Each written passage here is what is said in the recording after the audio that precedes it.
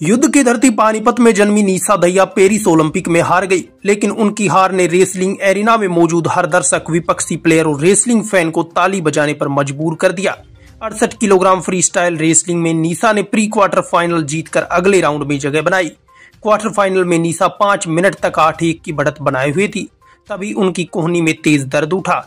वह दर्द से कराने लगी। डॉक्टर्स आए, लड़ना लगभग नामुमकिन था।